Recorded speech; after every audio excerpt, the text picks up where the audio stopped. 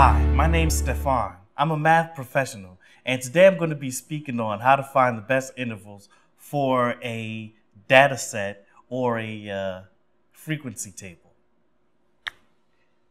I'm going to start off with uh, two sets of data. Here's data set one. I'm just going to use two, three, six, 12, 20 just as an, as an example. And my next data set is going to be, uh, let's just say, 10, 25, 30, 120, 130. Okay, then. The first uh, thing that I always go by is the range. Uh, the range is your maximum number minus your minimum number. In our data set one, the range is 18, 20 minus 2. In our data set two, the range is uh, 120.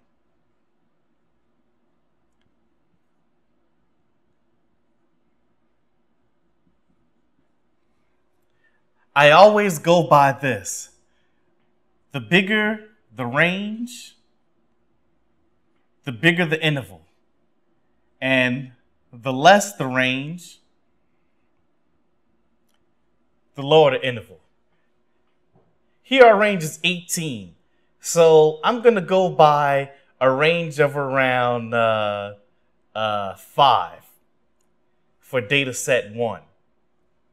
But for data set two, it'll be a nightmare if I go by five because it goes all the way up to uh, 130. So I always find the range and I go by this simple uh, pattern here. The greater the uh, range, the greater the interval, and the lower the range, the lower the interval. And that's a good method for finding the best interval for a data set.